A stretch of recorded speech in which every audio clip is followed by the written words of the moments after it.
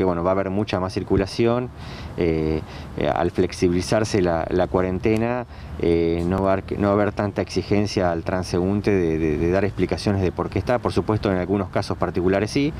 pero bueno, creo que va a tener otro, otro tipo de rol y bueno, eso es lo que venimos a plantear, venimos a charlar. Nosotros venimos trabajando desde un principio en, conjunto, lo estamos haciendo, estamos trabajando en los ingresos, un, fuerte trabajo por parte de, la policía y bueno, y queremos mantener ese trabajo en conjunto en esta nueva etapa de flexibilización, bueno, que,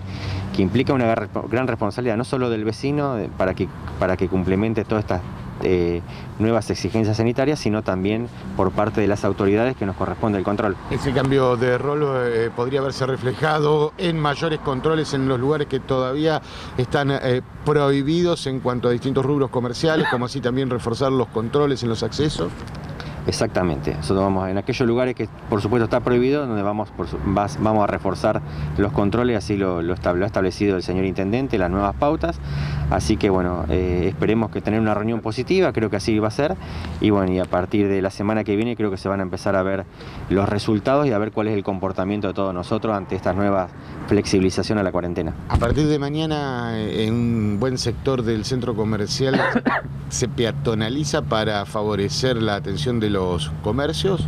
Sí, hoy se están cargando ya los protocolos, el decreto salió a última hora, se están descargando los protocolos, las declaraciones juradas, así que una vez que puede ingresar el comerciante a la página de la municipalidad, eh, baja la declaración jurada, eh, la firma, la envía y una vez que tiene lo que hay de control urbano ya puede eh, dar inicio a su actividad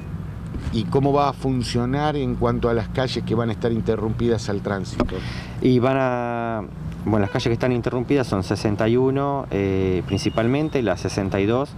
64 y también la 62 y 64 entre 57 y 59. Esas son las, principales arterias